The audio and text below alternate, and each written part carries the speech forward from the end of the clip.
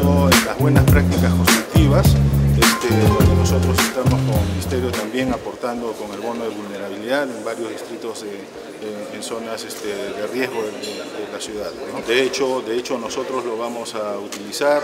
Ahora, claro, la, gente no es que esto lo abra si es una es, la receta oficial, ¿no es cierto? Hay, hay un tema de, de comunicación, de articulación, las municipalidades, por ejemplo, y los colegios profesionales pueden, a través de los, delegados, a través de los colegiados, formar este, grupos de trabajo que puedan dar asistencia y apoyo a la gente, sobre todo gente de menos recursos que no cuenta, digamos, todavía con la capacidad de poder contratar un ingeniero, un arquitecto, pero ahí para eso los colegios profesionales y el mismo Ministerio de Vivienda puede apoyar en ese sentido, en dar eh, eh, apoyo y asistencia. Eh, bueno, en todos los distritos donde estamos trabajando con el bono de vulnerabilidad, San Juan del Urigancho, Comas, Villa El Salvador, Villa María del Triunfo, este, son todos distritos que han sido identificados, como te comenté, se ha hecho una identificación de casi 75 mil viviendas en zonas vulnerables, este, se ha sensibilizado a 19 mil familias y estamos otorgando los bonos para construcción de estas primeras viviendas.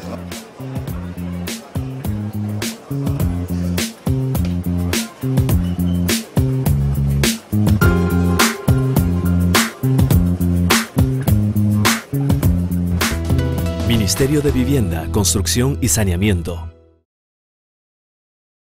Perú, progreso para todos.